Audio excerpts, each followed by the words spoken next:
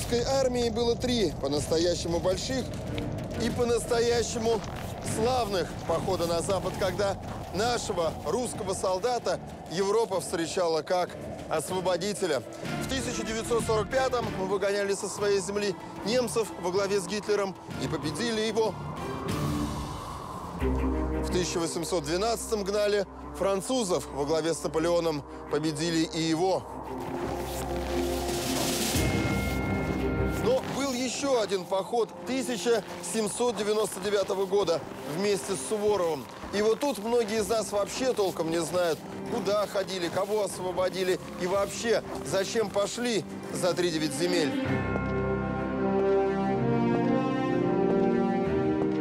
History knows this time as Suvorov's Alpine Crossing. The Russian painter Vasily Ivanovich Surikov immortalized this in a painting a hundred years later. 215 years later, our film crew is visiting the same places.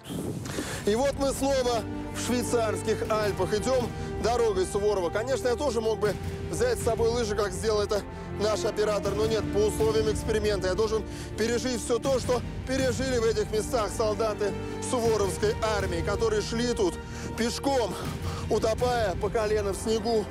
Более того, к этому времени не только у солдат, даже у офицеров стандартная армейская обувь уже давным-давно испортилась, и люди шли вот в таких, сейчас сказали бы, лаптях или мокасинах, а тогда говорили в поршнях. И вот теперь в этих поршнях мы идем дальше, в горы, на перевал Паникс, на то самое место, которое изобразил на своей картине Суриков.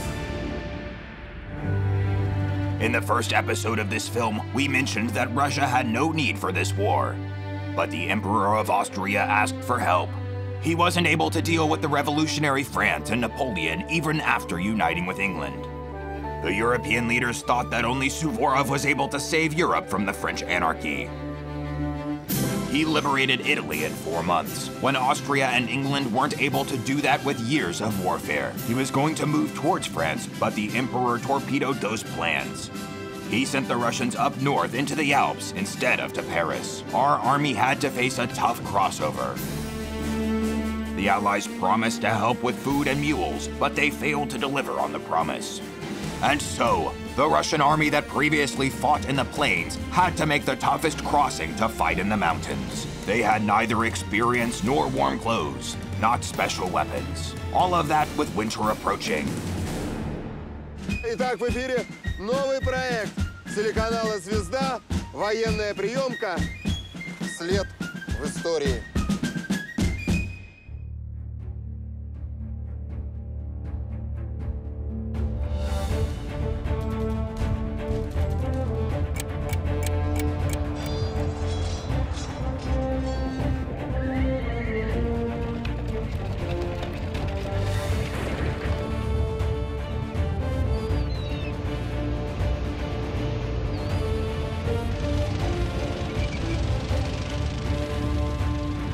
Approved.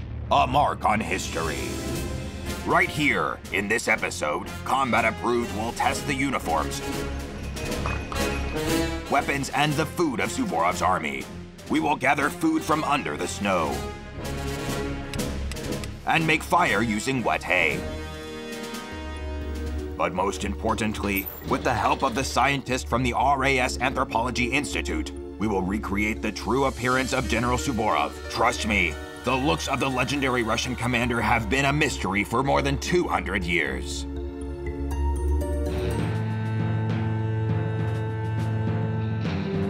Suvorov's Alpine March, 200 years later, Part 2. This place is known to anyone who is at least a little bit interested in military history. We're in Switzerland, at the Devil's Bridge. Suvorov turned up here in 1799, on September 25th on the Gregorian calendar. The first major battle at the St. Gotthard Pass was behind him, as well as the first casualties. More than a thousand dead of the formerly 20,000 strong army. Во времена Суворова высота моста в этом месте была около 20 метров. Ширина такая, что по мосту с трудом проходила одна повозка. Так вот, по этому не очень-то надежному мосту оттуда сверху и должна была пройти многотысячная российская армия. А на том месте, где я сейчас стою, находилась французская оборона. Так вот, для того, чтобы пробить эту оборону, наша армия использовала обходной маневр.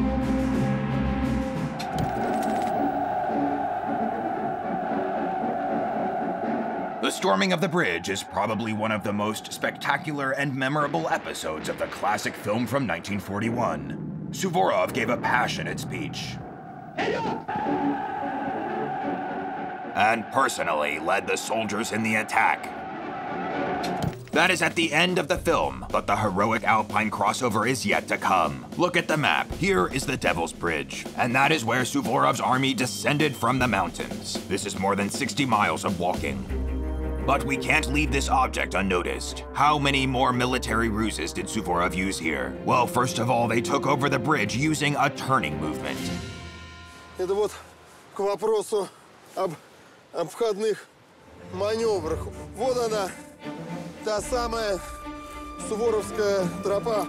Здесь как раз шли наши солдаты, которые в обход штурмовали чертов мост. Я понимаю, как здесь можно идти в наше время, даже с винтовкой, когда организована вот эта страховкой. Но как наши войска лазили здесь без страховки? Можно представить, что чувствовали те самые 500 человек, которые заходили в тыл к французским войскам. 200 с одной стороны и 300 с другой. It was way worse for those who went into a head-on attack. They had to win a battle in the tunnel before the Devil's Bridge. Here's what one participant in the march, Grenadier Nikolai Gryazev, wrote in his diary. He is played by Alexander Meslikin. Кажется, всякое выражение будет недостаточно, дабы в точности представить все ужасы, все места окружающие, которые мы проходить должны были. Это есть не что иное, как страшный проход, вводящий вовнутрь Швейцарии между огромных, крутых каменных гор или, лучше сказать, натуральных стен. Today they've broadened the tunnel, laid a highway. The old one was way too narrow. A loaded horse could barely pass through. Этот туннель, копия того, по которому шли наши войска, ширина такая, что еле лошадь протиснется. Дальше, как пишет Грязев, наши солдаты шли, прижимаясь к скалам, потому что там внизу водопад и обрыв, а с противоположной стороны вражеские французские войска. Unlike us, the soldiers of Suvorov's army had not just to stick to the rocks, but to shoot and pull the autocannons. Today we brought all our weapons in a car, but back then they had to pull the artillery themselves and engage in combat right on the bridge after leaving the tunnel. Итак, в этой ситуации я буду на стороне французов, поэтому мы разворачиваем пушку. Александр Васильевич уходит к русским войскам. Так вот, битва на чертовом мосту это была драка лоб в лоб с применением артиллерии, обычного огнестрельного оружия, штыковой атаки. Стоп! В этом месте я прошу русские войска остановиться. Объясним почему. В тот момент, когда французы поняли, что не в состоянии сдержать атаку, что они сделали? Французы начали разрушать мост, чтобы сам мост и дорога по мосту стали непроходимыми. А что делали русские офицеры? Русские офицеры с помощью бревен и шарфа смогли починить мост.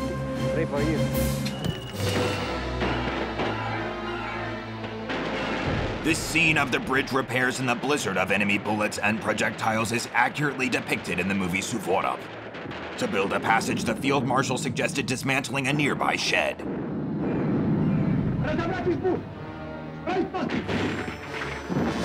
Note an important thing here. Instead of regular soldiers, the commander sends the officers to build the bridge on the front, though this meant certain death.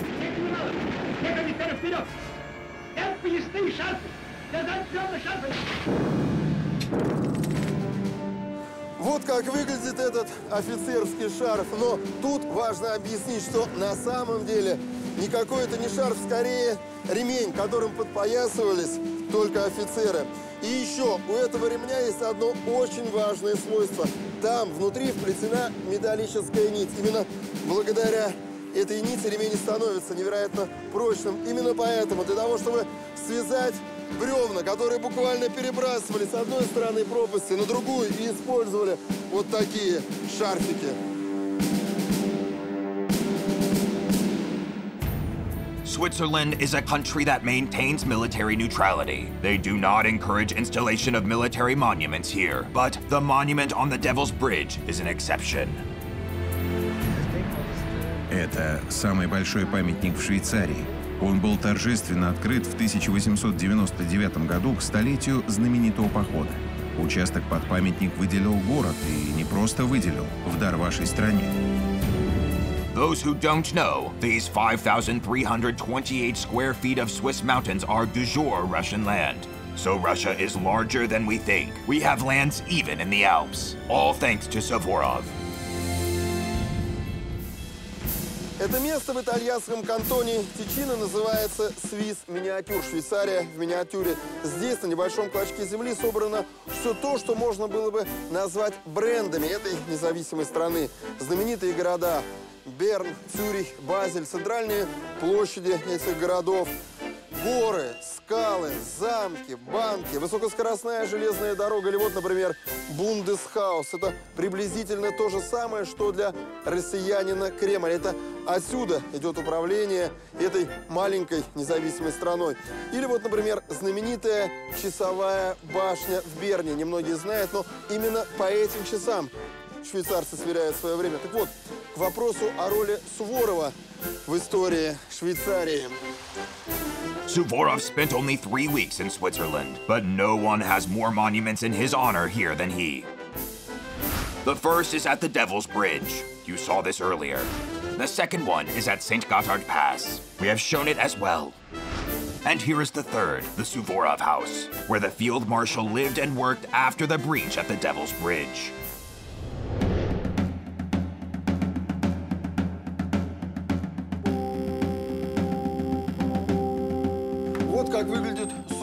Хаус, дом Суворова изнутри. Это спальня. На этой печке генералиссимус смог посушить свои вещи, здесь помыть руки. Обратите внимание на кровать. Никакого сена. Исключительно пух. Еще одна пикантная деталь. Ночной горшок. Устроен он следующим образом. В левом отсеке само изделие. Горшок в правом бумага, туалетная в виде нарезанной газеты. И вот тут надо объяснить очень важную вещь, что именно в этом помещении Суворов не ночевал, но бывал. И уж где он был точно, так это за этой дверью, именно здесь, 25 сентября 1799 года располагалась ставка Суворовской армии. То есть именно здесь находился его штаб. Interestingly enough, Suvorov didn't give up on his plans of marching towards Paris even on the 10th day of his crusade while staying at his headquarters. After all, he started cherishing this idea long before the Alpine crossing. А если бы это случилось, то тогда не было бы и нашествия Наполеона, не было бы пожара Москвы. Собственно, и в 1799 году, уже когда он разбил французов в итальянском походе, если бы его не перебросили, грубо говоря, в Швейцарию, а направили на Париж, то он бы, конечно, его взял. Говорят, что ему чуть ли не неделя оставалось до Парижа. Даже меньше. However, we cannot dwell on what might have been. Let's get back to our campaign. Suvorov is at the headquarters, looking at the map. On that night, he was planning his upcoming actions. It all looked quite realistic. A rather easy descent from the mountains to Zurich, meeting the second part of the Russian army, Korsakov's corps. This was actually the goal of the whole Swiss campaign. Альдорф в переводе с немецкого «старая деревня» российской публики. Городок этот не очень известен, а между тем это важнейшая точка русской военной истории. Вот видите, там вдоль берега идет дорога. Так вот, во времена Суворова этой дороги не было. Но на картах она была. И только когда Суворов понял, что карты врут, с этого момента и начался настоящий переход Суворова через Альпы. So, there was a road on a map, but not in reality. We're speaking not just of any road, but of the only life saving path. A question arises here. Who presented this deceitful map to Suvorov? Прости, голубчик, сам виноват. 12 ружей, без суда. The legendary film of 1941 has an episode of how they shoot an Austrian officer in the headquarters who turned out to be a traitor. They say his name was von Weyrother.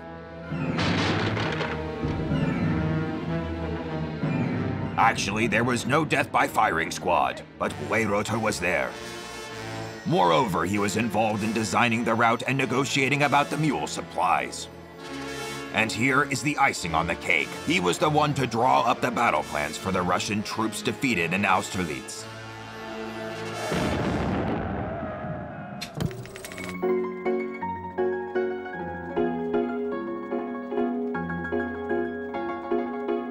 So, were there spies in Suvorov's army? To get an answer, we go to one of the most expert historians. Jörg Stussy is an ex-archivist of the Swiss army. Question number one. How did intelligence work back then? Золотой ключ подходит к любой двери, за исключением двери на небеса.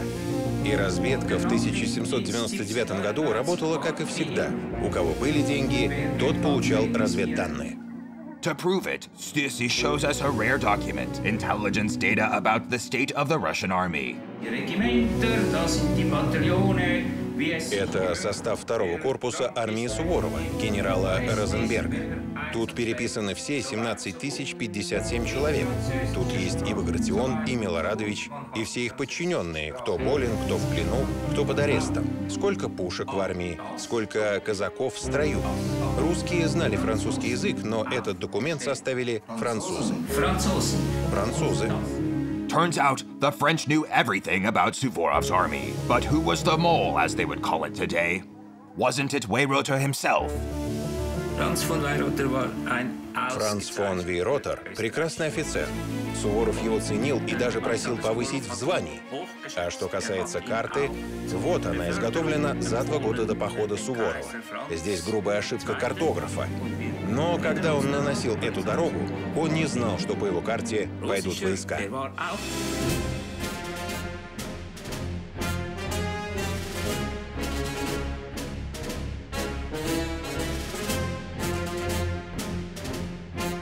So, on the 11th day of the campaign, Suvorov realized that he no longer had a map, and he had to find a way on his own. That is when, for the first time, they did not go just into the mountains, but they went truly off-road. Вот здесь шли ваши войска. Никаких дорог нет. Максимум горные тропы. Но найти эти тропинки было сложно. Стояла плохая погода, туман. The Kinzig Pass, altitude 6,801 feet. Rain, snow, showers, and fog. It was very hard for Suvorov's troops, unlike for us. Moreover, Suvorov led his army across the steep cliffs at night. This contradicts all the Alpinist rules, even today. Back then, it looked like madness. Наконец, нашли способ уменьшить ужас темноты, препятствовавший решиться на один шаг вперед, который бы мог быть последним. И сей способ состоял в небольшом восковом агарочке. Мы свернули из бумаги рот фонаря, утвердили в середине оного агарочек, дабы защитить его от ветра, высекли огня, зажгли и пошли вперед по тропинке, освещаемой слабым светом. Вы думаете, в самом деле можно с таким фонариком ночью по лесу ходить? Да, конечно, можно. Главное, защитить его от ветра немножко. Света вполне достаточно. Главное, чтобы глаза привыкли к темноте, и видно становится довольно далеко. We've already introduced you to this man, Grigory Sokolov, expert in survival, possessing 18th century technologies. Как люди добывали огонь в то время? В то время усекали огонь при помощи кремния и кресала. То есть мы бьем кремнем о кремень. Не совсем так. Or quite wrong, to be precise. You strike the metal with the sharp edge of the flint. Высечь искру – это одно дело. Ну и еще от этой искры воспламенить пламя. Для этого нам нужен труд. Трутом является не солома и там какие-то ветки, а трутом является тот материал, который может начать шаять. То есть Что делать? шаять, тлеть. Выглядит это вот приблизительно вот так вот. вот. Это что это такое? Это Сожженный матрас. Ну, можно и так сказать. Вообще, э, лен, э, не знаю, мешок какой-нибудь суконный, допустим, тряпка. It's just like the smokers are carrying a lighter in their pockets today. Back then, it was common to carry such boxes in the bags. Просто взять и ударить кремнем по кристаллу так, чтобы искры полетели вни- вниз. Обратите внимание, Ничего себе. Как, как-то у вас так с первой попытки. осторожно, С одного осторожно, раза. осторожно. Next, Grigori is bringing some straw to the red spot, starts blowing. And here it is, the long awaited fire made in the night in a damp forest. Now we have to go get some food.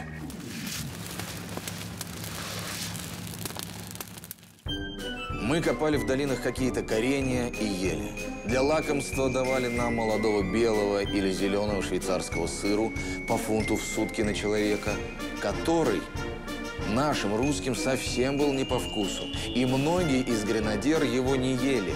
Совсем тем, во все времена нашего пребывания в Швейцарии, сыр составлял единственную пищу.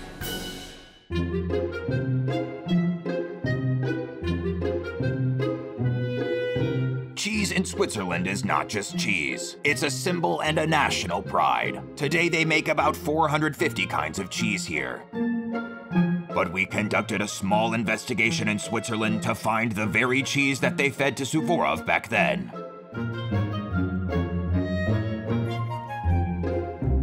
Этот сыр с плесенью в России когда-то называли сыром от уставших коров. И солдаты Суворовской армии были возмущены от того, что их каждый день кормят вот такой плесенью. Это сейчас мы понимаем, что плесневелый сыр – невероятное лакомство, которое ценят гурманы со всего мира. И, между прочим, именно предки Ливио Ломбарди угощали солдат Суворовской армии вот таким сыром. Попробуем? Суворов... То есть суворовских солдат угощали именно этим сыром? Да, такая же сцена, как и сейчас, только между Суворовым и моими предками была 200 лет назад. Мои предки были уже здесь, когда здесь проходил генерал Суворов. Diese А можно съесть плесневелую корочку или только серединку? Можно. Сейчас, конечно, это не едят, но наши предки ели. Нужно попробовать?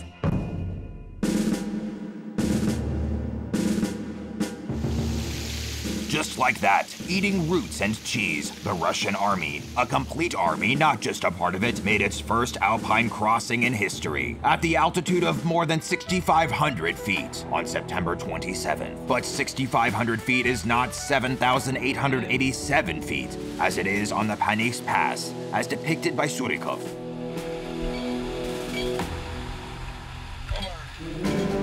That is why the first crossing was without casualties. But there was another reason. There are not as many traps presented by canyons and ravines when descending from Kinzig Pass as there are on the Panis Pass. If you were to descend into or fall into any of these places, there would be no escape.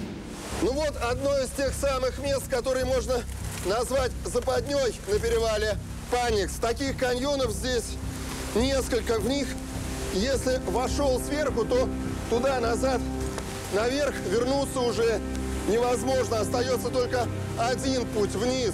Вот мы спускаемся здесь, имея страховку на веревке. Понятно, что ни- никаких веревок у солдат Суворовской армии не было и в помине. Они здесь скатывались, ну, что называется, опа, на пятой точке. И вот так из одной лужи в другой, поэтому каньоны безо всяких веревок. Лезли они, сейчас покажу туда. Вот там дальше еще одна такая раковина. Дальше еще и еще. Поэтому, если ты не знаешь дорогу в этом месте, выжить практически невозможно. Именно поэтому Грязев пишет, что если люди сваливались вот сюда, то их уже никто даже не пытался доставать.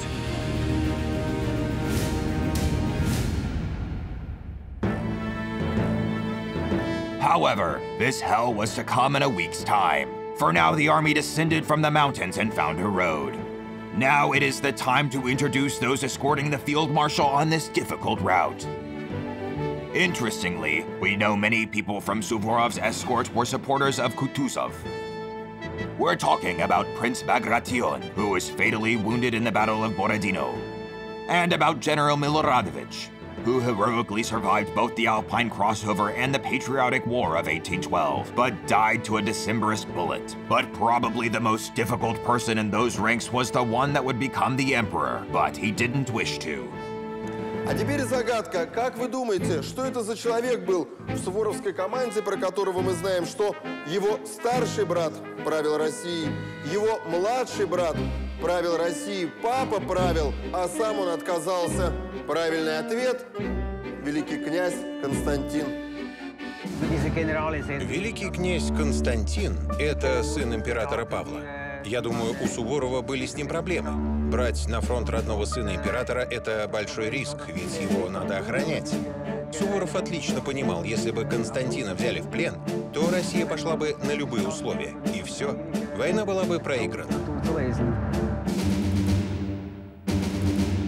However, let's get back to our route. On the 14th day of the march, the high ranked delegation from Russia, which included the son of the country's leader, the commander of the army, today Suvorov would be called the Minister of Defense, and a whole team of generals were visiting a convent in the Mutato Valley.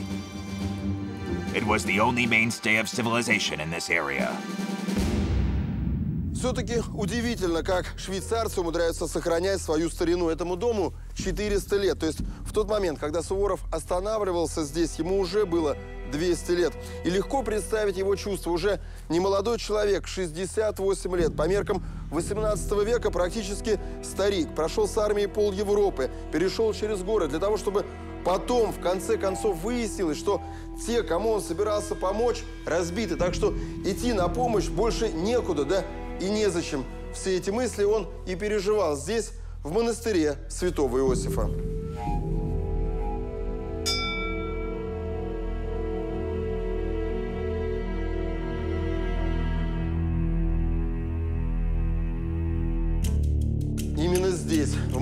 Святого Иосифа, и состоялся один из самых драматичных военных советов в русской военной истории. Это здесь Суворов окончательно понял, что его армия окружена, а вторая армия, армия римского Корсакова, которой он шел на подмогу, эта армия полностью разбита. Что делать? Суворов собирает совет. О том, что было дальше, мы знаем из записей Багратиона. Багратион пишет, он первым вошел в ставку. Суворов в этот момент в комнате был один, одет в мундир при орденах. Генералиссимус ходил по комнате и все время разговаривал сам с собой. О чем? Понятно о чем. О поражении под Цюрихом. Bagration notes that they didn't invite any Austrians to the council. Suvorov would give a brilliant speech in front of his fellow Russians. Later, the participants of the Alpine campaign would pass this speech on by word of mouth. Теперь мы среди гор, окружены неприятелем превосходным в силах. Что предпринять нам? Идти назад? Постыдно. Никогда еще не отступал я. Идти вперед к Швицу невозможно. К тому же, мы без провианта, без патронов, без артиллерии. Помощи нам ждать не от кого. Мы на краю гибели. Одна остается надежда. На Бога, да на храбрость и самоотвержение моих войск. Мы русские. Да, мы русские.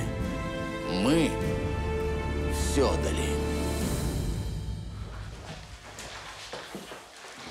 Гутен так.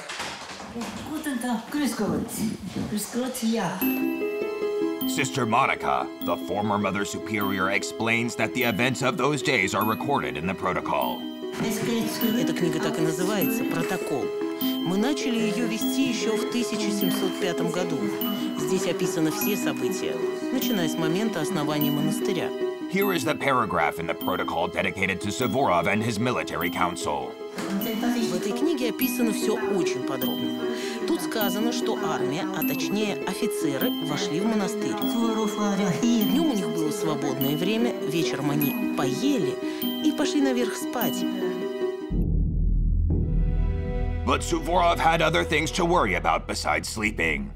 The main question was, where to go now? The choice was like a crossroads. They couldn't go north, the French were there. Same thing going west. Southbound meant retreating, and Suvorov never did that. Only one way remained to the northeast, towards Panic's Pass. But first, they had to deal with their injured. There were more and more of them, and they weren't able to cross those really rugged mountains without them.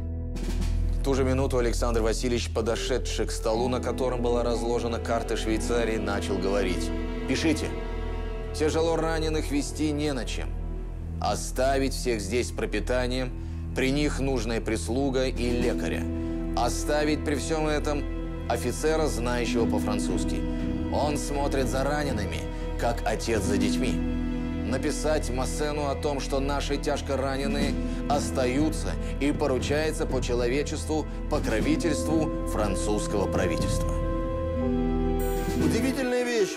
Суворов планирует атаку на французов и в то же самое время наших раненых планирует оставить на их попечение, то есть на попечение врагов. Здесь в монастыре Муататаля. Но что совсем странно, русские и французы найдут в монастыре общий язык. Не сказать, что подружатся, но, по крайней мере, никаких серьезных конфликтов не будет. Эта картина показывает прекрасную человеческую сцену посреди войны. Мы видим, на органе играет русский офицер. Помещение находится под контролем русских. И это ясно, сейчас русские имеют преимущество. И вот здесь не очень довольные французские офицеры. Но музыка всех объединяет. Это же французы. Французы. Это рядом русские. И это союзники русских австрийцы. И что, все они сидят вместе? Они же должны друг друга убивать. Война идет, крик. Они пленные, у них нет оружия. Русские офицеры за ними наблюдают. Здесь также присутствуют сестры. The idyllic scene of the monastery's hospitality is interrupted by Grenadier Gryazov. While the officers were deciding the fate of the wounded, low-ranked soldiers were looking for food. Note they didn't seize, but rather they paid for the obtained food. А ведь по законам военного времени армия Суворова еду могла бы и реквизировать. Но нет, платили за все. Абсолютный рекорд поставил сын императора Павла, великий князь Константин, который приобрел едва ли не самую дорогую в истории человечества – картошку. Сам великий князь Константин, пришедший с авангардом Мутенталь, купил для Онова две гряды картофеля, заплатя за них хозяину 40 червонцев. 40 chervonets is 137 grams of pure gold. $4,000. Well, it's clear, starvation was breaking out, so any crumb was as valuable as gold. Наши сухари, навьюченные с мешками на казачьих лошадей, все без изъятия пропали. Первое, потому что большая их часть состояла из белых и пресных, которые от ненастной погоды размокли и сгнили. И, наконец, потому что лошади растеряв подковы и обломав по каменным горам свои копыта, разбивались, падали и умирали от бескормицы. Вообще странно само по себе, почему возникли проблемы с сухими сухарями, потому что к тому времени у нас в армии уже давно были отработаны технологии, как возить, ну уж если не сухари, то, по крайней мере, муку. Давайте покажем. Берем мешок муки и погружаем его в воду. Что происходит? Если взять и просто вести с собой сухую муку в мешке, то влажный воздух очень глубоко впитывается вглубь в муки. Если взять и замочить мешок, просто взять замочить, что происходит? Внешний слой муки прилипает к верхнему части мешка и становится, образуется как бы корочка, которая дальше влагу уже не пропускает. Exactly. To protect a sack of flour from water, you need to dip this sack in water. The thin layer of dough that will appear will act as a barrier from any moisture. Я сейчас вспорю этот мешок, чтобы зрителям показать, что там внутри, несмотря ни на что, у нас абсолютно сухая мука.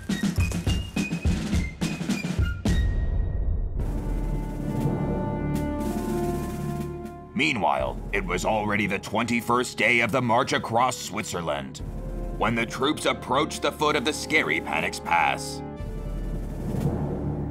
Итак, именно отсюда, от памятника храброму русскому солдату, мы и начинаем свой переход Суворова через Альпы. Наша цель перевал Паникс, тот самый, который изображен на картине Сурикова, и на котором погибали наши солдаты от холода и голода. С собой мы берем две вещи, которых так не хватало армии Суворова на спуске. Это кошки для спуска по замерзшим водопадам и ледоруб, если встретятся заснеженные склоны.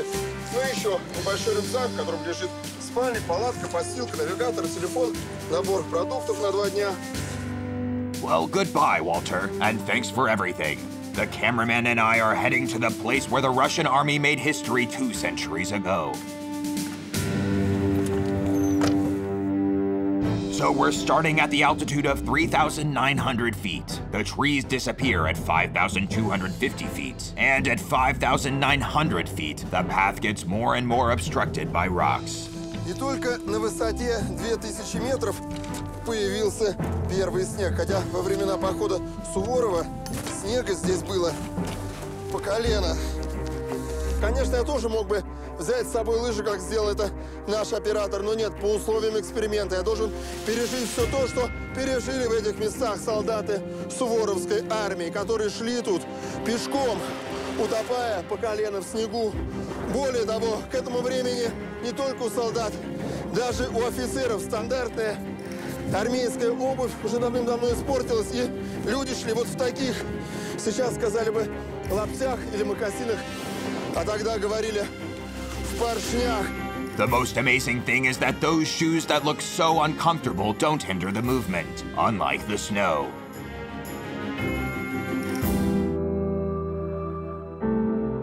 So, why were the Russian officers such sorry sights? Let's compare the actual Suvorov campaign with the one depicted in Surikov's painting.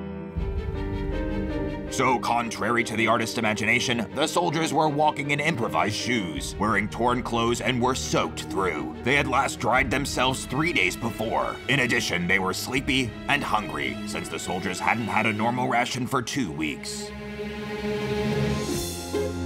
However, an artist sees the world in his own way. But we will still dare to remove one inaccuracy from Surikov's painting. We're talking about the appearance of our main hero. In the first episode, we showed you the portraits from his lifetime. Firstly, they clearly differ from each other. Secondly, they have nothing in common with the appearance we got used to since childhood. Moreover, they don't know what Suvorov looked like, even in the Suvorov Museum.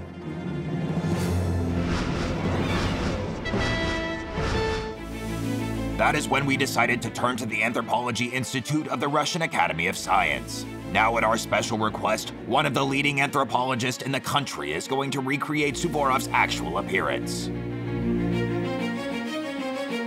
So, we're in St. Petersburg at the Suvorov Museum. Here is the very artifact that we have already mentioned.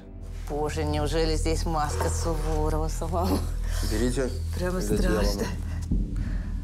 Меня поражает достоинство этого лица, в первую очередь. Мужественное, спокойное лицо.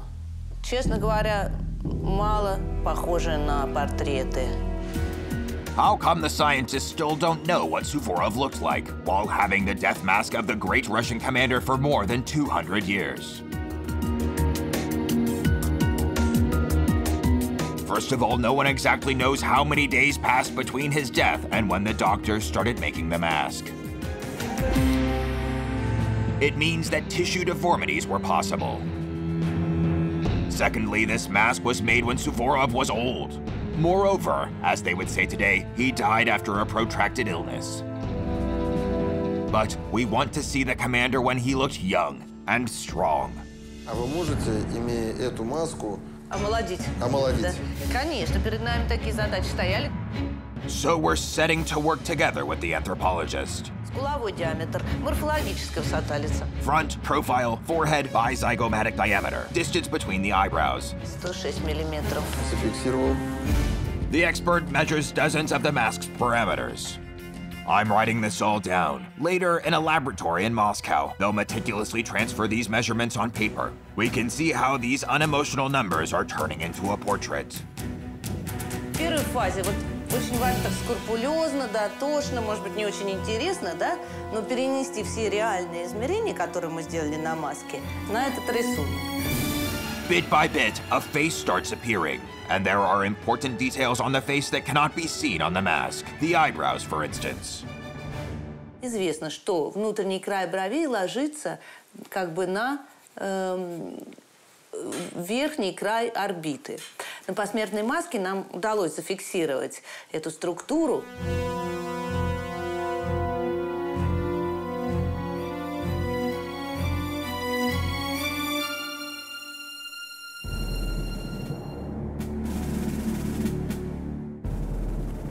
For now, let's get back to our route.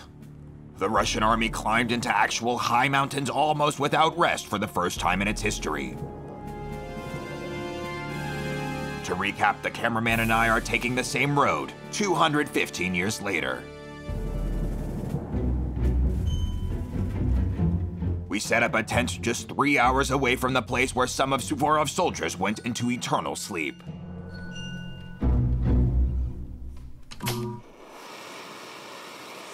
Ну что, надо сказать, мы очень неплохо тут устроились. У нас есть сыр, колбаса, хлеб, мобильная связь.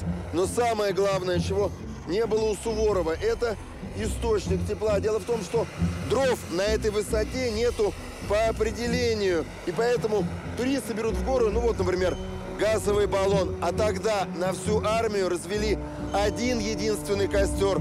На дрова пошли древки казачьих пик. Who do you think warmed himself by this one and only fire? That's right, Duke Constantine, the son of the Emperor. Не было ни щепки развести огонь для обогрения остывших членов. Лафеты горных орудий и дротики казаков, как вещи совсем уже ненужные, послужили только малую пищу огню и помощью для весьма немногих, в числе коих находились наши почтенные начальники и великий князь Константин, который первый подал мысль к обогрению себя лафетами и дротиками.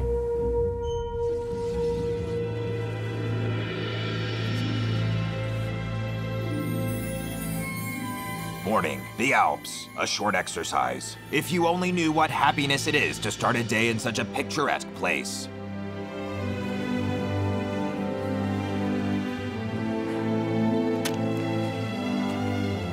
From the place of our overnight stop, we're taking Suvorov's route higher up, an hour and a half of walking, and the Panics Pass is conquered. Here it is, the highest spot, the saddle of the pass.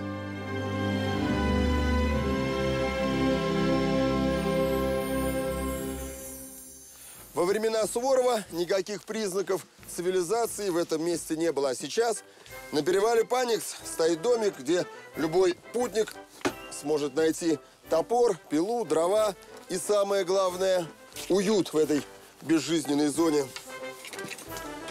Ну, что мы тут видим?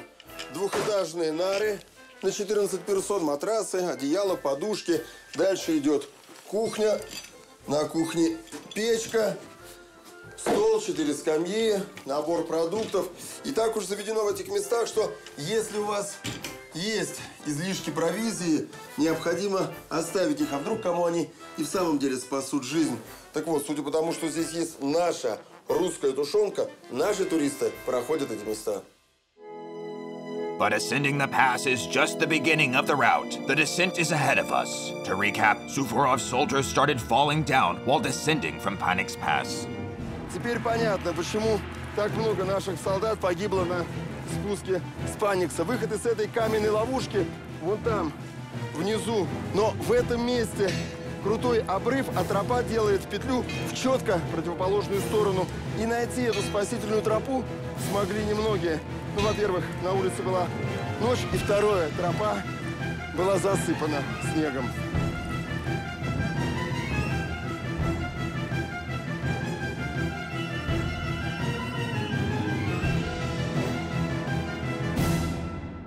Вот мы идем сейчас здесь по проторенной тропе, и то, честно говоря, дух захватывает от этих обрывов.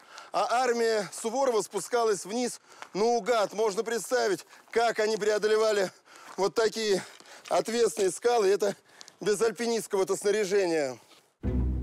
How do you think Grenadier Gryazev descended here? Failing to find a path, he sat on his bum and rode down.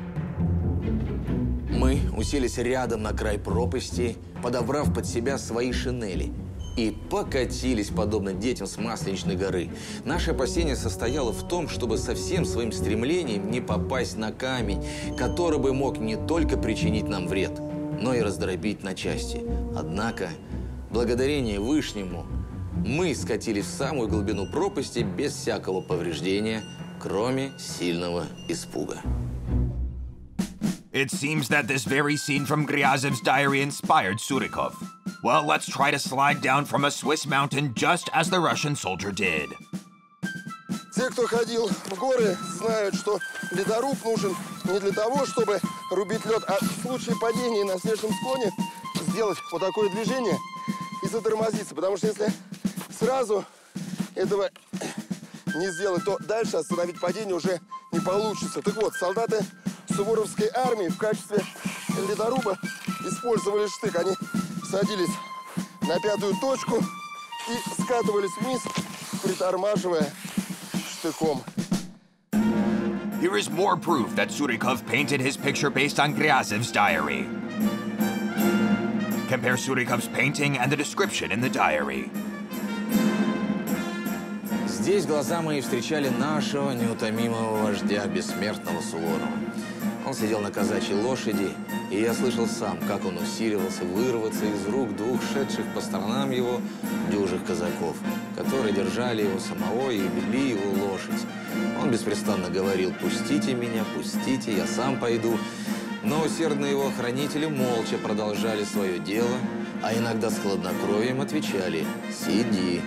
И Великий повиновался. Despite that he didn't go himself, the strength of this old man is amazing.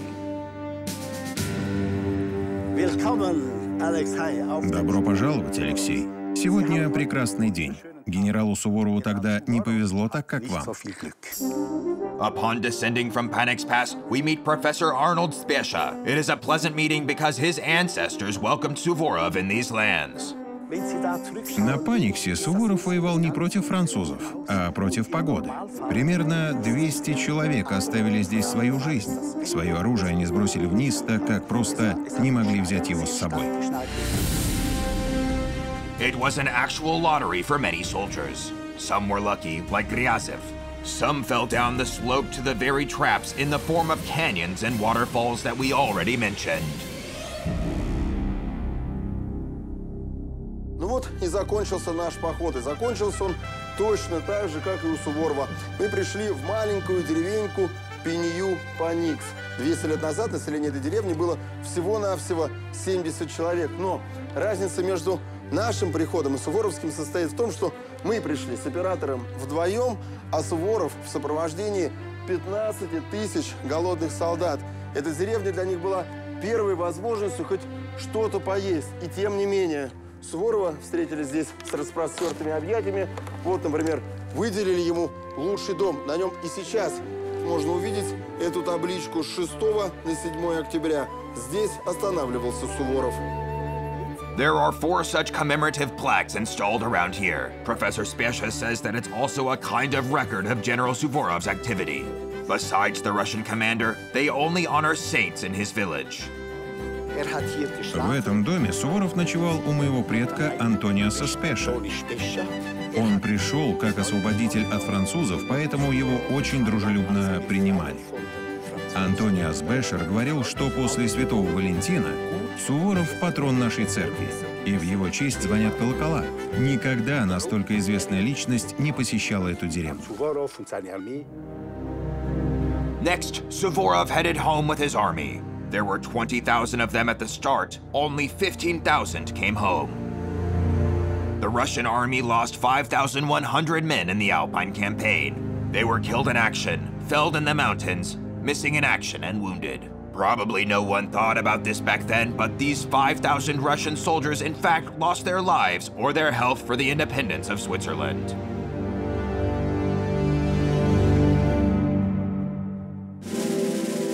What happened to Nikolai Gryazev later?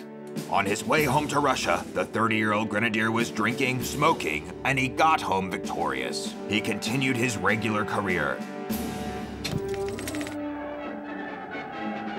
Suvorov was also going home, and surely victorious. The field marshal, the generalissimo, he had it all, loved by the people, known as the liberator.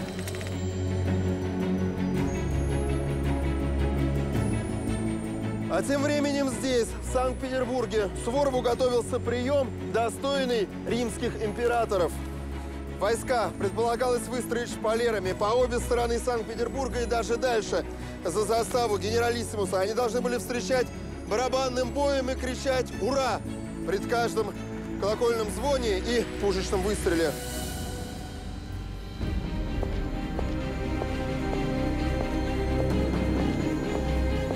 Alas, the grand welcome was cancelled. Secondly, and most importantly, the Alpine campaign and the long road home undermined Suvorov's health for good.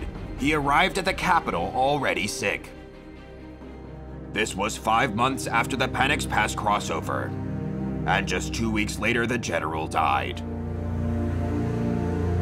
His last words were, I chased fame for a long time. All is a dream. The soul rests at the throne of the Almighty.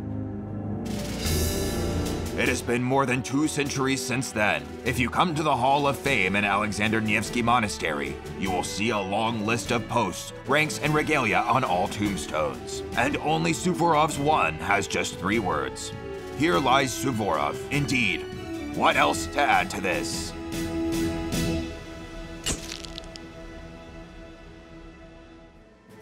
Дело в том, что когда я даже начинала прорисовывать отдельные черты, у меня возникло чувство нереальности.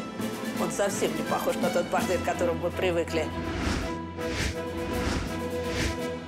Совершенно другое лицо. Вот это три четверти. Посмотрим. Фас. Мужественное лицо. Но это воин. Это воин, который мог одержать победы. Который не проиграл ни одного сражения. Когда я смотрю на это лицо, я охотно верю, что этот человек мог в свои преклонные года осуществить знаменитый переход через Альпы.